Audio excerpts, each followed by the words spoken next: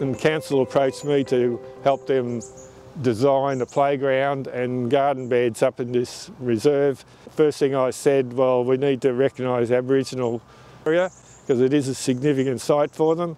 So um, I approached Robbie Lowe, the Aboriginal elder, and he and a lady from the council and I worked on the design of this. This is called a meringue, which is an Aboriginal word for meeting place. This, this is the Peek Whurrong recognition stone uh, with the symbolic um, smoking bowl in the middle. Uh, when Robbie does his smoking ceremonies, he brings his own bowl. Uh, he's got a portable one which he uses, but uh, when we opened this site up, we had the mayor here to open it and a big crowd of people and we did the smoking ceremony and a few of us made a few speeches and then the mayor opened it officially. So uh, and that officially opened the playground as well. So previous to that there was nothing here. Around the outside you'll see the um, heritage wall which is the only remaining piece of the sale yards site. This used to be the Warrnambool sale yards. When the sale yards was moved in the 1960s the only piece of the yards remaining is a historic wall which we're not allowed to touch. It's got historic value, so we've got to preserve that. So that's the only remaining part. After that, our APS group formed in Warrnambool, and our first project was to plant out the Swan Reserve with native plants. So that was back in the 1970s. These are the Aboriginal message poles, which children from two of the local schools painted up. Robbie took these into the schools and they painted, he told them the designs they needed to paint and uh, he painted, they, the, kids painted them. This is our Wollemi pine bed and that's our Wollemi pine. One of our members had this growing in a tub at home and quickly outgrew her tub, so she gave it to us to put, uh, put down here. Now, I didn't know whether it would grow here in uh, cold, wet, windy Warrnambool, but we thought it was worth a try. So look at it now though. It's sort of 10 years later and it's just going crazy. This Correa Katie Bec, I think it's a hybrid.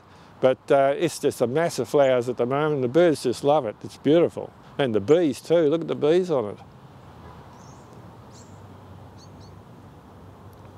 Uh, I like growing uh, Adenanthus. It's a lovely plant. That one's fallen over a little bit, so it needs a bit of pruning. But uh, you can get different forms. There's tall varieties, mid-range varieties, and also low-growing ones. So these are supposed to be the low-growing.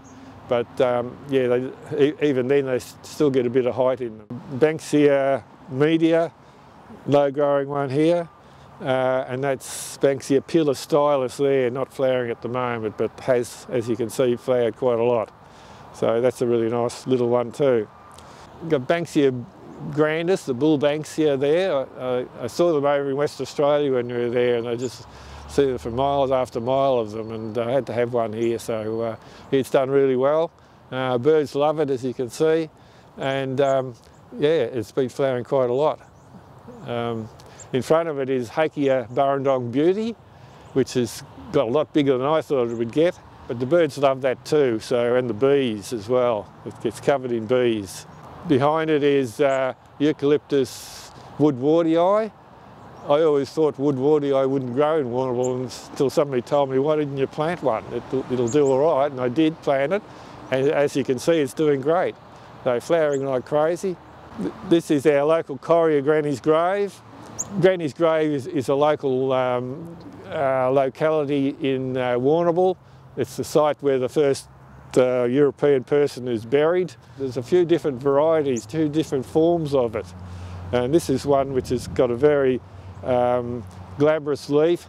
Some have got a very rough textured leaf and some are prostrate and others are tall, tall varieties. So this is the scene off the coast opposite Granny's grave. And here is Granny's grave. Can't read the writing so well anymore.